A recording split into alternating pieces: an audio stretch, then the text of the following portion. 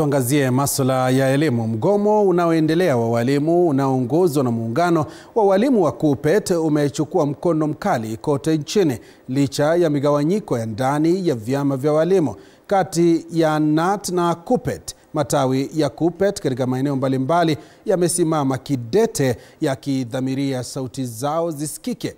Anodida anatupa taswira jinsi hali ilivyokuwa katika maeneo mbalimbali nchini.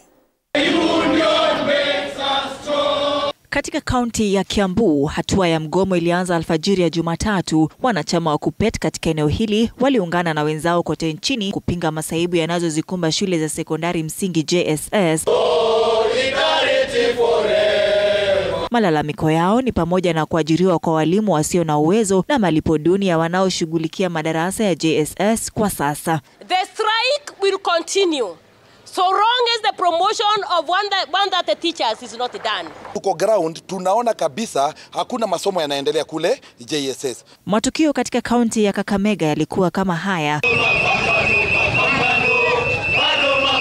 Walimu waliandamana barabarani na shuleni kuhakikisha kwamba hakuna aliyekaidi wito wa muungano wa kugoma. Shule zote zilifungwa katika eneo hili, kwani walimu hawa waliweka wazi kwamba mahitaji yao lazima yatimizwe. The strike is on. Walimu wote wa Kakamega County tusikupate shuleni. Our teachers are dying in hospitals because they cannot be treated well. Hamasa kama hiyo ilienea katika kaunti za Nakuru, Eldoret, Meru, Laikipia, Isiolo, Machakos, Turkana, Baringo na Busia. Viongozi wa KUPPET katika maeneo haya walitoa onyo kali kwamba wanachama wowote watakaokaidi agizo la mgomo watashughulikiwa kama wasaliti. Hata hivyo, hali ilikuwa tofauti katika kaunti ya Mombasa ambapo polisi walitatiza maandamano yaliyopangwa.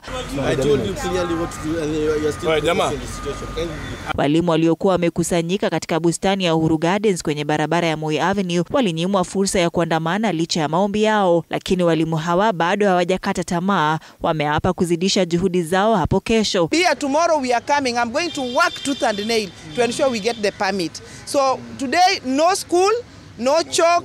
Don't show yourself near any teaching institution. Sababu za mgomo huu ambao umeanza zimekita mizizi kadri zinavyoendelea. Walimu wanagoma kudai matibabu bora na kushughulikiwa kwa maswala mbalimbali katika sekta ya elimu, haswa katika shule za JSS, utekelezaji wa mkataba wa majadiliano ya pamoja unaosubiri kuwapandisha vio walimu, kurekebisha bima yao ya matibabu, miongoni mwa malalamiko mengine. Ann Odida, TV 47.